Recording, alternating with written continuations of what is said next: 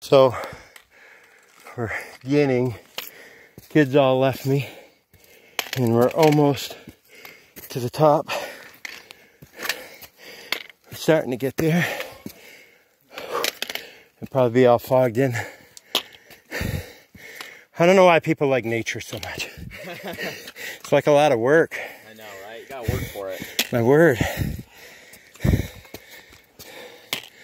Thank you. Enjoy. You could carry me the rest of the way if you wanted, but Yeah, you're basically there. You got through that. thank you. The last 30 people I've seen have said, you're basically there. And, oh, more trail, more rocks. So all these nature preservationists talk about erosion. There Used to be soil on these rocks. All these hikers have eroded all the soil off these rocks. So I think hiking should be outlawed. It's not good for the environment. Whew.